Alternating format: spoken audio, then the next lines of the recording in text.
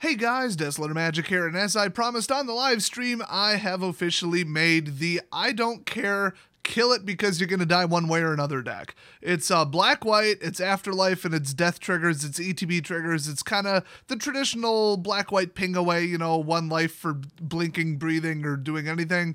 And uh, it, has been working. I mean, I've been kind of hovering in high uh, uh, platinum with it, trying to get to diamond, but I'm not sure it's quite that good. It looks like it has maybe a 65 70% win rate, though. So, you know, if you play it long enough. Um, mostly, if you're just looking for something that can compete with the broken, you know, tier one crap that Wizards refuses to do anything about in standard, this will do it. This will get you your dailies. Um, if it doesn't involve colors other than white or black. Uh, so basically, it, it took oh, at least a week of playtesting to get the numbers right for the ratio of like afterlife to triggers to late game threats to um, early game death touches and all that. I'm still not sure I have it right, and you might have noticed it's 61 cards. So it is what it is. I just really don't want to drop Vampire, but that would be the one I would drop. So just whatever. I mean, build this however you want. You might even want to put in Bone Splinters or that improved version of the Bone Splinters um, from Ikoria. That I took it out just trying to get it down. It was 64, but like being able to kill something at will and get the triggers on purpose can be like you can turn a, a kill spell into oh a kill spell and three damage because of the death and then the ETB triggers. So you'll see what I mean. So we got Foulmire Knight. I mean this is a death touch one one for one optionally, or you can pay three and uh, at instant speed draw a card and lose a life. So I mean yeah this is a, a generally downward trend in this. Uh, deck it, it isn't like white heavy life gain heavy let's put it into Ajani's pride Pridemate and a uh, that two cost guy with the ETB and all that. It was in the deck in the early form, but I thought, well, it, it's nice, but it just kind of stalls and doesn't win the game. And with all the late game value and late game threats right now in standard, it, it just, I had to cut it. So uh, then we got the Vampire of the Dire Moon. Um, Death Touch Lifelink, okay. I mean, classic. Just love it. Absolutely love it. You cast this, they think twice about swinging with their stupid 4 3 or whatever. Uh, then we got Orzhov Enforcer. This one's huge. I mean, yeah, it's twice as much as a 1 1 Death Toucher, but I mean, Value Town, first of all, 1 2 for the purposes of trample. That's cool. And then Death Touch, and then Afterlife 1. So they got to kill it twice. You get the ETB on the Death Trigger, the ETB potentially on the Death Trigger of the Spirit later, and potentially the ETB trigger of the ETB. I think I just called the Death Trigger an ETB trigger, but we're going to move past that. Uh, let's see. So then we got Corpse Knight. I like this. This is kind of cool. So whenever another creature, uh, token or otherwise, be careful. Not every card says that uh, enters battlefield under your control, each opponent loses one life, but you don't gain one life. But it's a two-two for two, and it's damage. It, it's going the correct way. Their life total going down. That's what I consider to be the correct way. I did have to cut it to two though because this deck was all like, oh, you know, lose a life to do this. Oh, lose a life to cast murderous, and then eventually you're just too dangerously low and you lose. So Is. Now, Cruel Celebrant, that's a different story. So when this card or another creature or planeswalker, there was originally one in here, uh, you control dies, each opponent loses one life and you gain one life. Way more value for two mana, but you have to wait until it dies. But the whole theme of this deck, logically, is it's either going to stay in play and keep hitting you, or you're gonna like trade with it and it'll die and it'll probably honestly come back that's the point. Um, and then you're gonna take damage anyway when it dies. Um, in either way you're gonna take damage. So you're either gonna take damage when it hits you or you're gonna take damage when when you block it and it dies. And then like i said it's probably coming back. This is such a you can't win card and it's like the the whole point of the deck was cruel celebrant basically. So of course i'm gonna run four so then we've got Ministrant of Obligations. I just like that it's, you know, one creature that turns into two. I mean, it, it just goes. I mean, I had to cut it to three because, it's, you know, it's a little high on the cost. You can tell there's almost no bottom in this deck. Um, but I mean, come on, it's so many triggers. It's so many triggers. And the best thing is when you you get the afterlife trigger and then resurrect ministrant immediately anyway, which is what this deck does. It's so funny, so broken. Uh, then we got Bastion of Remembrance. Now this isn't a creature, but I consider it a creature spell because when it enters battlefield, you create a one-one white human soldier creature token. So no no lifelink, no nothing, but it's just something to you know chump block and die later. And then immediately you get the guaranteed effect of whenever a creature you control dies, token otherwise each opponent loses one life and you gain one life. That's the magic word. If I could put in four, I could, but I can't. Um, so absolutely love that. I mean, it's just too good. It, it sets it up with a, a crappy little one-one, and then you get benefits from it dying right off the bat, all in one, and it's too generic. I mean, that's just amazing. Then we got Midnight Reaper. I mean, the, the card advantage was a problem in draw heavy decks. Not a lot of people playing Simic draw anymore, and that's like that's like draw your whole damn deck. I, I've seen people draw literally like the rest of their deck minus three just for safety with Hydroid because they have like a hundred mana yeah, you're if it's a draw deck, you're not going to outdraw it. But against a normal deck, you do want to keep just throwing anything, absolutely anything, into the battlefield. And uh, this is how you do it. Uh, it does only one damage to you and you get a card out of it, so okay. But I did limit it to two because if you start drawing too many of these and you get like two in play and then, oh, well, I got a board wipe, or oh, they board wipe me, or oh, I had to block four times so I don't die, ooh, you could get a lot of damage because it's per death, including itself, and then per Midnight Reaper. I mean, that that could start going into double digits. Then we got Murderous Rider. I mean, come on, it kills a planeswalker. Yeah, it's two life, but whatever. And then it's lifelink to make up for it. So I'm ongoing lifelink, it's a target. They might even feel the need to remove it because it'll be one of your more important creatures, believe it or not, in the deck. Then we got Plaguecrafter. I almost want to come back to him because the top of the deck explains why this guy's here. So when he enters the battlefield, each player sacrifices a creature or planeswalker of their choice, and if they can't, they discard a card. So that, that's hilarious. So those stall and hold and do nothing creatureless decks, well, one less card, cool. Um, then we get Lurrus. I mean, he's not the companion because if you think I'm going to build this deck with with all two or less, you're crazy. That's why I thought companion doesn't look that good. I mean, look at that restriction. But one, a couple of the cards are showing it to be very broken, very doable, and two, uh, other formats. oh, I mean, there's only ever about 2,000 cards tops in standard, but if you expand it to like 10,000 cards in like modern or 27,000 cards ish in uh, the eternal formats, it, it might as well just say build whatever you want. You you got so many cards to choose from. There basically is no restriction. Totally, totally, totally broken. They, they need to ban all the companions from basically every other format. A lot of people are saying that. Um, so this is cool because it's like it's a lifelink 3-2. Okay, it's got the optional, you know, mana flips on the hybrid there. I like that.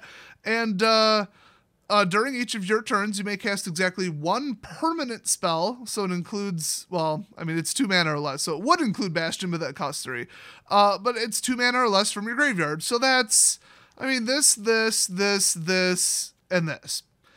It was a little bottom heavier. I had some more Death Touchers, but then the deck was just weak. I need to get to the top. Um, and then because of that, this deck's like literally 39% mana. Um, but still, I mean, this is important. This is important and these uh, this right here has uh, afterlife. So it's like, well, okay. And if you add them up, it is four four four two one. I mean, it, it, it's a fair number. So by the time you get him out, if he had to just be a lifelinker, okay. Otherwise, if you start recasting stuff at one per turn, you're almost guaranteed to win the game. I mean, you'll just be throwing out so much more death touchers. Like, oh my god, another death toucher, and they're gonna swing with an eight eight and lose it. You know. Um, but I did only put in one because like it, it doesn't really fit the deck that well, but it's just so hilariously perfect for the deck I had to throw one in. So then we got the strangely not legendary Luminous Broodmoth, aka Mothra Supersonic Queen. So um, it's a flying 3 4, so that's damage in the air. That's cool. It's a blocker in the air. That's more important. And uh, flying, of course, so whenever a creature you control uh, without flying dies, including tokens, return it to the battlefield under its owner's control with a flying counter on it. I thought this didn't work with tokens. I mean, it does say return it, but it doesn't have to go to the graveyard. First, tokens are considered to go to the graveyard. I just haven't been paying attention while, while this deck is playing. Okay, but um, yeah, they they got to kill everything twice. Almost every damn thing in this this deck is on the ground. So Plaguecrafter. Let's go back to that. You drop it into play, you select itself, unless you really need the afterlife triggers, and then this guy could literally just kill somebody. Um, like if you have an ETB trigger and a death trigger, I mean, there's like three damage right there. It it's hilarious. But um, yeah, it, you choose him, and then oh, was was he flying, guys? I, I don't think he was flying. Boom, drop him back in immediately. Now he's flying. Choose him again. and remember, this is sacrifice. This gets around hexproof. This gets around indestructible. And if they run out of creatures, they just start tossing cards out of their hand. I mean, it's just too funny. It's it's amazing. Oh, I love it. And uh spoiler alert, it works with Nightmare Shepherd too. oh, this deck's so evil? So yeah, I like Luminous Broodmoth. I mean, the funny thing is, because of how the rules work, Minister of Obligation dies, you get the two spirits, and then Minister of Obligation drops right back into play with a flying token. Oh my gosh. oh, it's just terrible. It's just this deck should be illegal. Um, not power wise, just because it's it's just so hilariously synergistic, and I'm kind of being hyperbolic and sarcastic. But anyway, drag to the underworld, and it's a two cost kill spell. Come on, destroy target creature. Cool. It did need some point removal. If you want to throw in mortify, go for it. It's almost the same damn thing. Um, instant speed, you know, whatever, cool. Um, getting rid of enchantments actually is important. I might flip this for Mortify, but uh, mana is hard to come by. Two versus like three actually is a thing like that. You're gonna notice. Uh, but this is double black. Mortify is a one each plus one, so you know. But then we got Nightmare Shepherd, which is also not legendary. Neither is the Moth what the hell were they thinking? I guess the moth stacks with itself, cool, but if they destroy one, then you've already got one in play. Like that's my issue with it. Nightmare Shepherd is just messed up. Okay, so this is another flying resurrector. I feel like they, they got a little too close with these cards. Um, and notice I'm running three three because it's just too four heavy. It's too it's too high heavy on this uh, thing. It does cap at four. I will say that, but you need to get to four. In fact, you kind of need to get to five mana on turn five to start start splitting two three spells. So um, yeah, whenever a, another non-token creature you control dies, you may exile it. Uh, if you do, create a token that's a copy of that creature, except it's a one one and it's a nightmare in addition to its other type. So still ETB. Um, it's an exact copy. I believe it's considered a token, but most of this deck doesn't care. So, I mean, once again, Ministrant of Obligation dies, you get your two flyers, and you drop it right back in play as a 1 1. And then they kill it again, you get two more flyers. And you get the ETB trigger on all these, and you get the death trigger on all these eventually. It oh, this deck. I love it. Um, I think this uh, this archetype is usually called aristocrats, but uh, I think that that name sort of implies a little bit of a graveyard loop, which this uh it's quicker than a graveyard loop, but this this isn't your typical aristocrats build. Like from the history of Magic last like five ten years, it's kind of the same thing, but it's a little different, a little bit more effective, is what I want to say. So yeah, this is this is pretty tasty. The whole nightmare thing never comes up. I'm not doing tribal. I mean, there's no downside to this. Plus, four damage in the air for four ain't no joke. So if you get one of these in play and one of these, they can resurrect each other, which is beyond hilarious. Um, I've I've just dropped a board wipe on top of one or two of these and just hi, I'm back. It might as well be an asymmetric board wipe. I mean, it's truly, truly ridiculous. So Kaya's Wrath is the last one. I did have one, then I went to two, then I went to three because these are so like I'm going to come back first, and I don't mean with card advantage. I mean my shit's coming right back into play directly. So yeah, destroy all creatures, and then you gain life equal to the number of creatures you controlled, token or otherwise, that were destroyed this way. Oh, I mean I just drop a bunch of crap back into play. I get all the death triggers. I get all the ETB triggers because I can choose uh, what order they come back and play, except on Arena. That's nice. There's a setting you can turn on to do it manually, but it's a pain in the ass. But yeah, love that. But I, I, don't need it. I win enough damn games with this. So th- this is this is nuts. Uh, I I really like this. So then uh, we got a buttload of lands. Uh, we have 24 lands out of 61 cards, which I believe is like 39 percent because you need about 40% of your deck to be lands. You need to open the game with three, preferably. And if you open with two, you want above a one in three chance of getting a land in the next total three draws if you go second.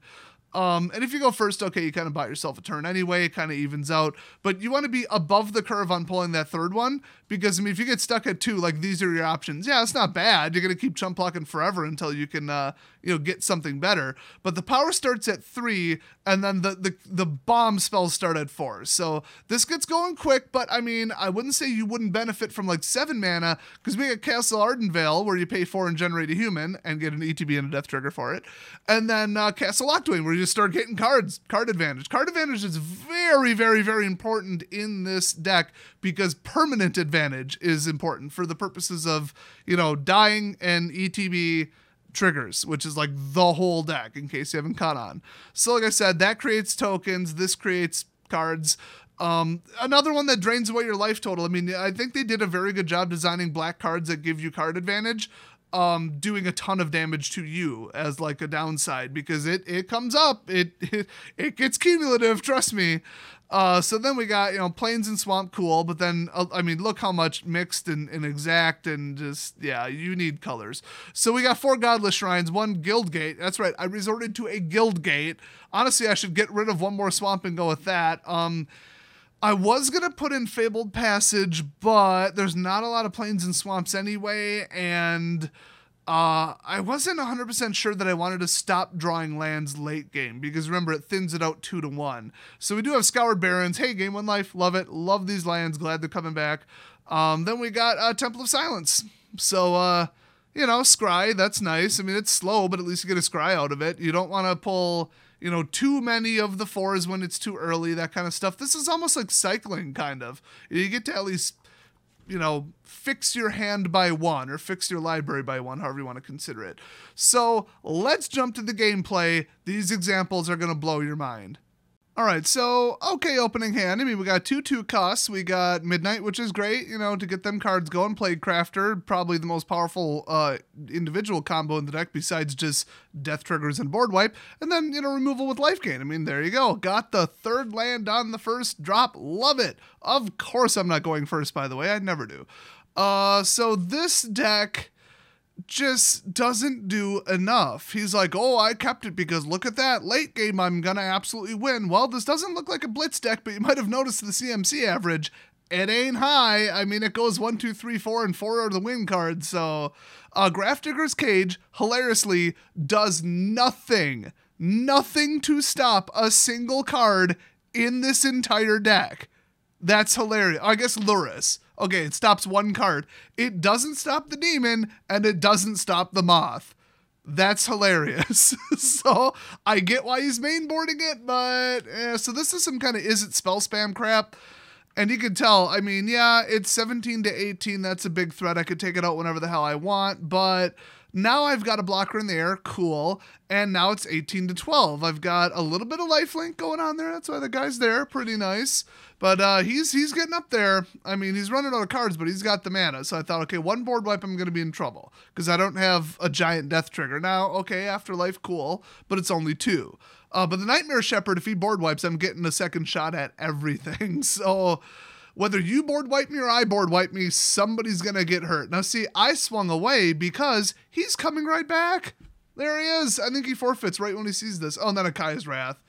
Oh, terrible. Oh no, he he goes for it. That's right. He wanted to he wanted to play it out. So he I mean, look at the volume of draw. Like this dude ain't playing.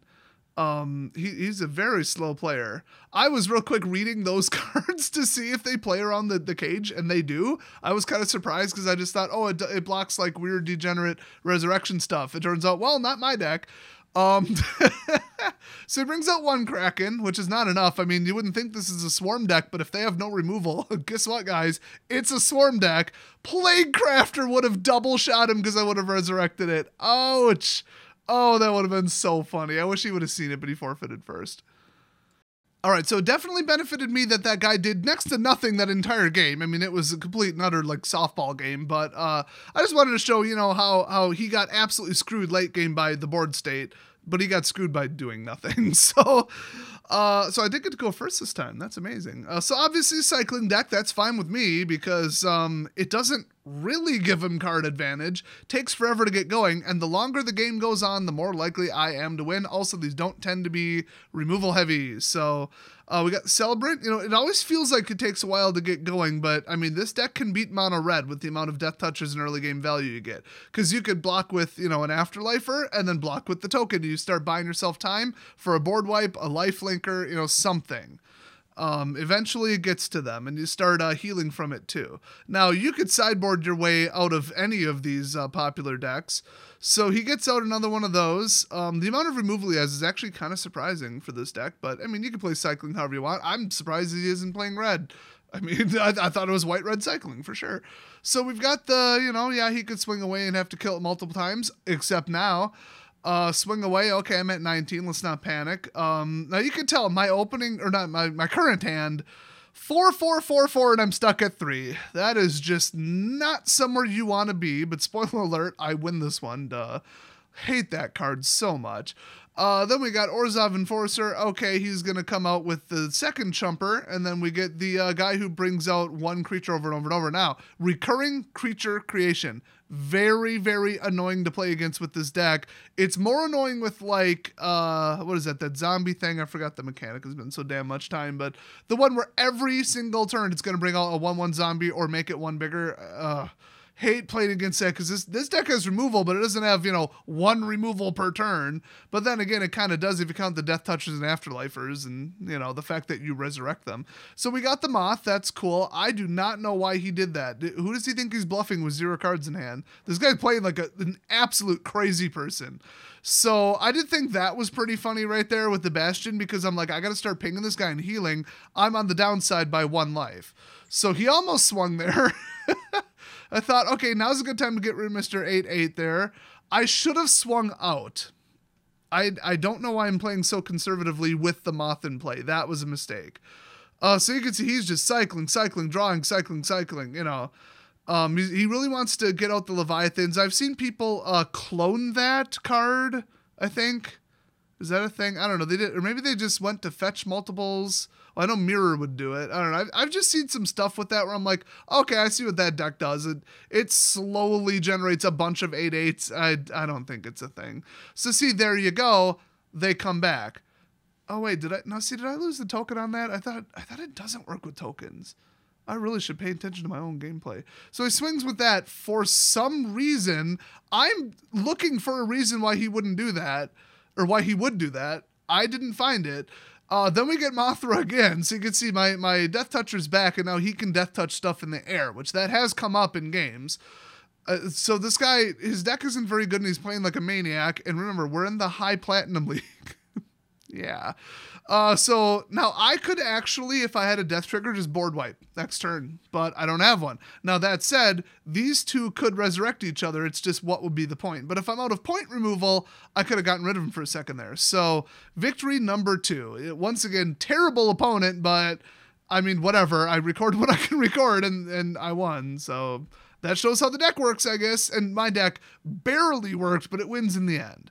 All right, so let's play a game that I should have lost and I didn't because this is an example of what this deck does. So we've got a, a so-so keep. I mean, okay, we've got two lands and a two cost, nothing to go with it, no 1-1 death touchers, and everything is three. So if I get stranded, I'm in trouble. This guy's a slow playing dick, by the way. Uh, so first draw, scoured. Now remember, I don't have one drop, drop it. Boom, 21-20. Love it. Um, don't know what he's playing. Apparently, neither does he because he has to think about what to go get. Come on, put away your phone, close Netflix, let's go. There we go. I, I was going to speed this one up, but I need to explain a lot about the board states, so we're running it one to one. It's only it's like three minutes of footage because uh, this this deck wins quick. Uh, so thought erasure. So we're playing against that kind of deck. Awesome. Love it. So uh, the Dimir Surveil recurring uh, discard deck with like Yarok and all that crap and the rats, very, very, very annoying, powerful, hard to play around deck. Uh, before Ikoria came out, so it's still good. I, I I've seen people still play it. It makes sense. Um, so he did get rid of Cruel, which is unfortunate. He knows that's a game winner. Very smart guy. He he took a bit to read, and he's like, I bet with that level of afterlife, Cruel is the card that wins the game absolutely correct, but I've got more than that that wins the game. So right now, we're going to drop in damage and card advantage because he's either going to not get rid of those and I'm going to hit him for 4 every turn or he's going to chump them and run out of, you know, creatures and just whatever he did something I undid it, it's another turn, fine. And then I draw another card. So the longer the game goes on, the better for me.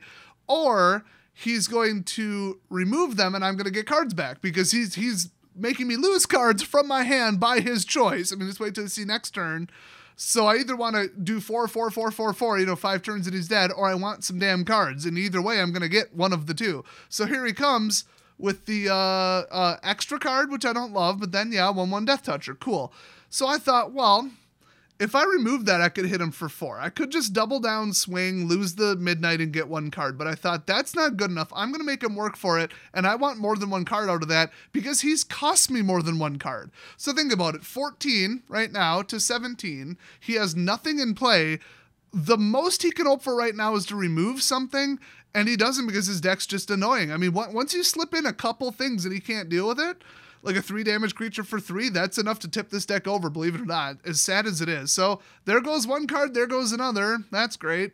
So he chooses uh, Mothra, obviously, because he cannot afford to let me resurrect this stuff, even though I don't have the mana yet. You'll never guess what I draw. Mothra, bitch. So uh, there you go. I was thinking about um, um, the lifelinker because I'm like, oh, that'd be kind of funny, you know.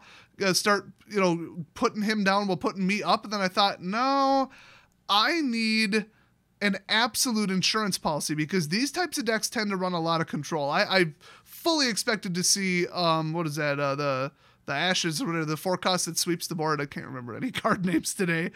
Um, but I, he probably had it, but he didn't pull it. So it is what it is. Elspeth's Nightmare, good card. Okay, you know, destroy something. But the problem is, I get a card out of that, and I get two creatures out of that. It's the same damn power. I'm still swinging for two. You got to kill it twice. I mean, there's almost no amount of removal that can deal with this.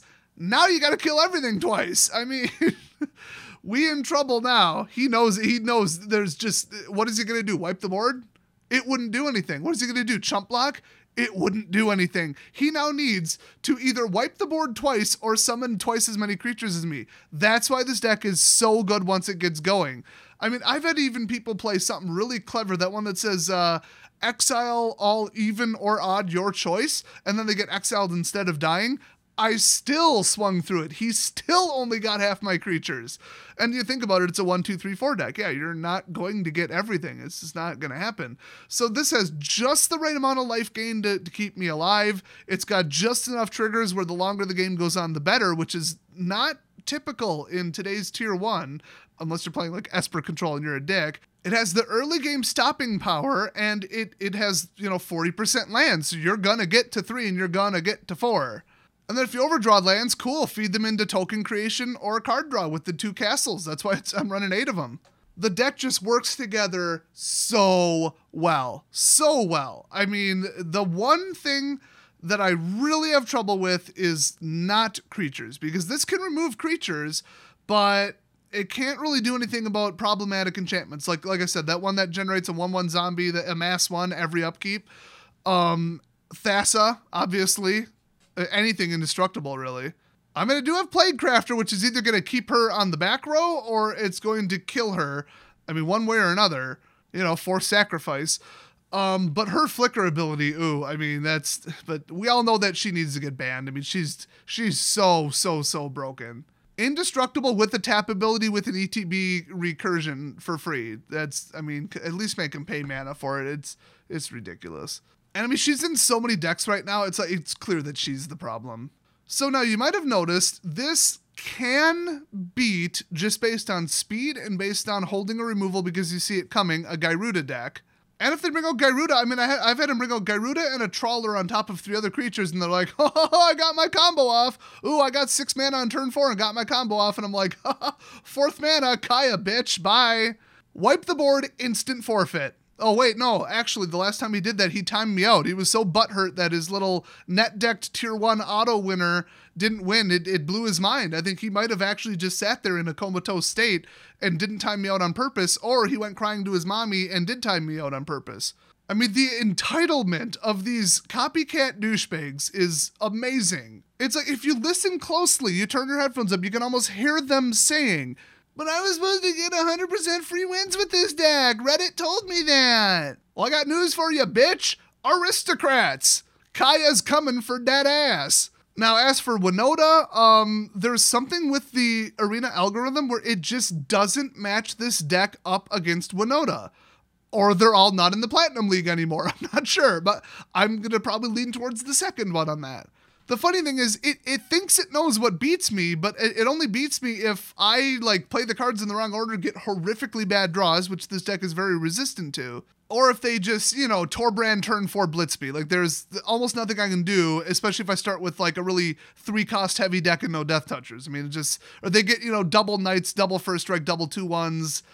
Awfully hard to recover from that much damage or do anything about that for like the first three turns. Bad starts are bad starts. The good news is if you're playing best of three, if you were playing this paper at FNM, you can sideboard in some stuff. I mean, my sideboard, I think I actually built one in this just, you know, on principle uh, currently, just without much thought, it's Consecrates Consume, Dire Tactics, Kunoros, and Heliod's Intervention, and it could very well have more 1 1 Death Touchers.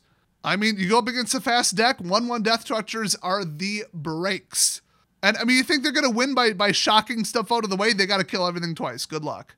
Uh, if they're running a flood deck, you could run ritual. I mean, you could put in more board wipes, just whatever you need to give yourself a little bit of an edge. The numbers can go up and down with with even just the existing cards in this deck to just tweak it enough to make sure you pound them in the second game.